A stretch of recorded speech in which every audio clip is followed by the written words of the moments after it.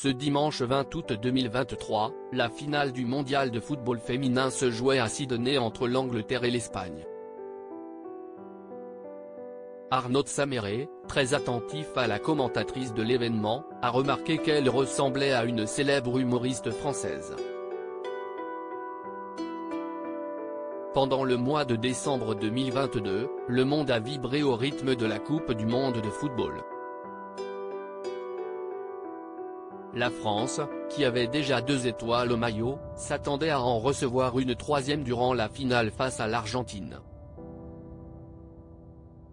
Malheureusement, l'issue de ce match s'est soldée par une défaite. Depuis le mois de juillet 2023, CIST a l'équipe féminine de briller sur les terrains australiens à l'occasion du mondial de football féminin.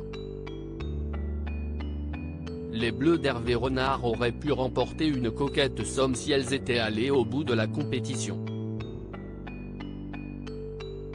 mais les Australiennes ont éliminé les Françaises en quart de finale en s'imposant au tir au but 7-6.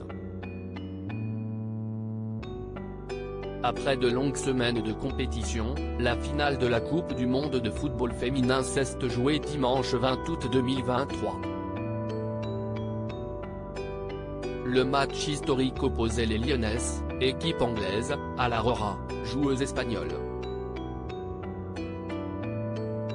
Anne Roumanoff sort de ce Corsi est la première fois que ces deux équipes allaient aussi loin durant cette compétition? L'issue du match allait donc être une énorme victoire pour les deux équipes. Si la famille royale espagnole a fait le déplacement pour assister au match, le prince William, président de la fédération de football anglaise l'a regardé à travers un écran. Certains ont évoqué des raisons écologiques à ce non-déplacement, tandis que d'autres l'ont targué de sexisme.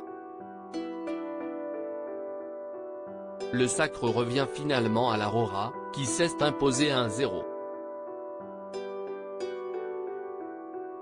Visiblement, le prince William n'était pas le seul à suivre ce match de très près.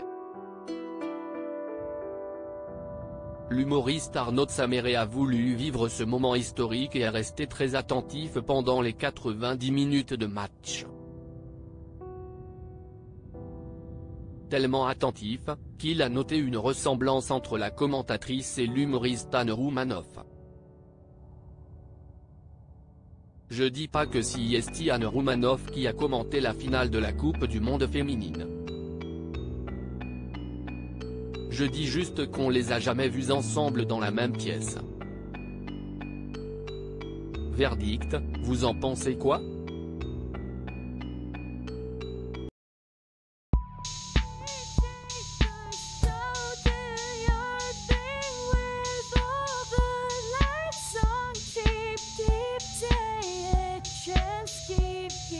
take a chance. You